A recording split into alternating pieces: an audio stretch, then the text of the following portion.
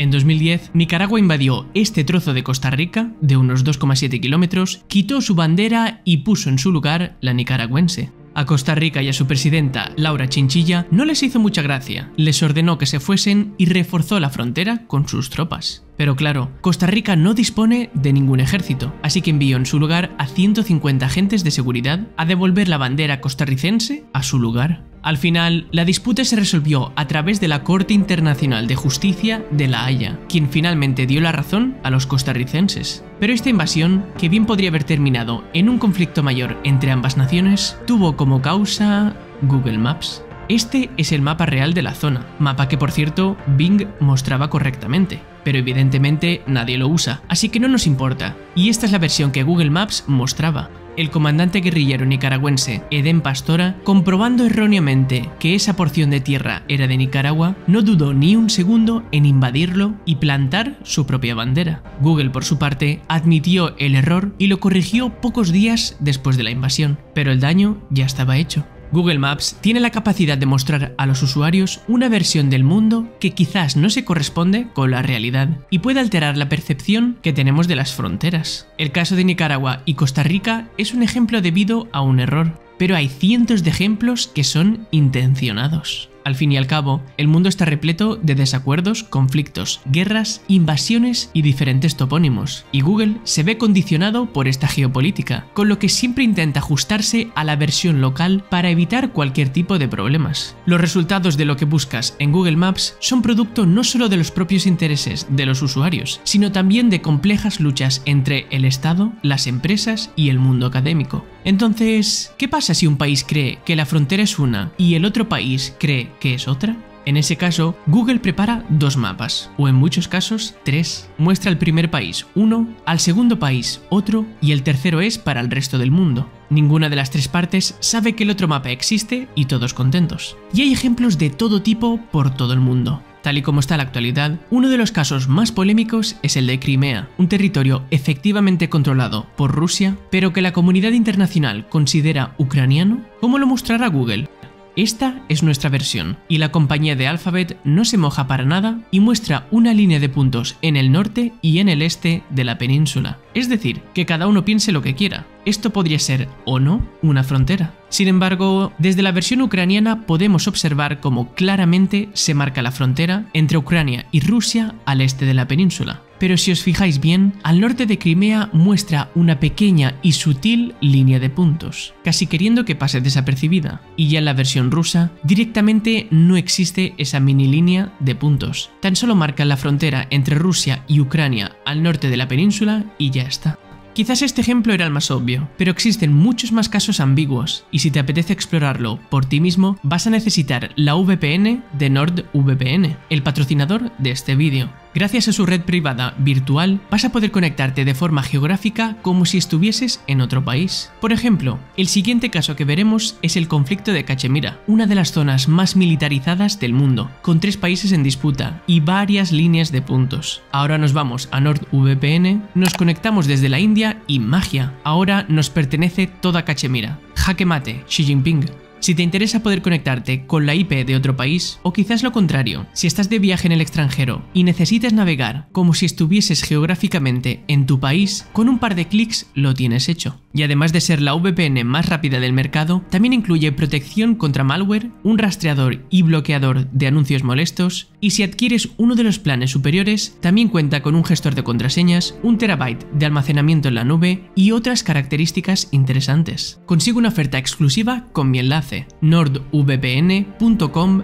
barra easyvpn que además cuenta con una garantía de reembolso de 30 días. Os dejo el enlace en la descripción y en los comentarios. Volviendo al caso de la India con China y Pakistán, este es el caso más complejo que existe en Google Maps, hasta el punto que se disputan entre ellos 11 regiones y 6 fronteras. Esta es la región de Jammu y Cachemira, y en 1947 el Raj británico fue dividido para formar dos nuevas naciones independientes, India y Pakistán. El problema vino porque el gobernante de la región decidió unirse a la India, pero la mayoría de la población es musulmana, con lo que Pakistán la reclama. China, por su parte, reclama una zona de la región basándose en acuerdos fronterizos históricos y en su relación con Pakistán. Desde entonces han ocurrido ya dos guerras en la región y muchos conflictos e incidentes, dejando como resultado que los tres países controlan varias zonas cada uno, algo parecido a esto. Pero, ¿qué ven cada uno de ellos en Google Maps? Ya os he enseñado anteriormente que la versión de la India acapara todo. La versión pakistaní es como la internacional, todo líneas de puntos. La versión china, por su parte, les incluye justo los territorios que ellos reclaman, y las disputas entre la India y Pakistán siguen manteniendo líneas de puntos. El caso de Google en China es bastante peculiar y merece una mención aparte. Los chinos mantienen desde hace más de 20 años una de las censuras más feroces que existen en todo el mundo, en lo que ellos denominan Gran Cortafuegos o también Proyecto Escudo Dorado. Sitios tan populares como Facebook, Twitter, Wikipedia o la búsqueda de Google están bloqueados en el país. En su lugar usan WeChat, Weibo, Baidu Baike y Baidu. No obstante, dos servicios de Google sí que se mantuvieron en pie durante muchos años, Maps y Translate, ya que ambos están en concordancia con lo que los políticos chinos quieren. Aún así, a fecha de 2023 ya ninguno de estos dos servicios se puede seguir usando en el país. Y es que el gobierno chino no quiere arriesgarse ni un pelo, incluso con los siguientes ejemplos que os voy a mostrar, que se adhieren perfectamente a lo que ellos quieren. ¿Que Taiwán es el mayor problema político nacional de China? No para Google Maps, ahora le pertenece. ¿Y qué hay del conflicto territorial en el mar de la China meridional? Efectivamente, Google Maps le entrega todos sus reclamos marítimos. Dejando de lado a China, ¿qué ocurre si se crea un nuevo país? En julio de 2011, Sudán del Sur se independizó de Sudán, y ese mismo mes apenas unos 20 países lo reconocían como un Estado independiente. En la actualidad son ya unos 100 en total, pero por aquel entonces Google Maps tenía el dilema de cómo mostrarlo al mundo, así que organizó un evento para animar a la población local a crear mapas precisos y detallados de Sudán del Sur a través de la herramienta Google Maps Maker, que ya no existe. En septiembre de ese mismo año, Sudán del Sur ya se mostraba como un país independiente para el resto del mundo aunque eso sí, su frontera sigue sin estar al 100% definida en la actualidad, ya que este pedazo de aquí se considera terra nullius, es decir, ninguno de los dos países la reclama. Palestina es otro de los casos más problemáticos, como podéis imaginar. Si lo buscas, Google te muestra la zona geográfica, pero el nombre de Palestina no aparece mencionado en ningún lugar. El Sáhara Occidental, por ejemplo, sí que aparece con nombre, aunque con una línea de puntos, la cual, obviamente, desaparece para los usuarios de Marruecos. ¿Y qué hace Google Maps si existen dos topónimos para un mismo lugar? Si el territorio no tiene ningún tipo de conflicto, los muestra uno encima del otro, como es el caso por ejemplo de Derry, que también se llama Londonderry, pero existen lugares más complejos. Si buscas el mar de Japón, Google te lo muestra con ese nombre hasta que haces zoom. Es entonces cuando también te muestra el nombre que usan los coreanos, Mar del Este. Y evidentemente, tanto a Japón como a Corea del Sur tan solo les muestra su versión local. Lo mismo sucede con el Golfo Pérsico, también conocido como Golfo Arábico. Google decide mostrarnos ambos a nosotros y a cada uno de ellos su propia versión.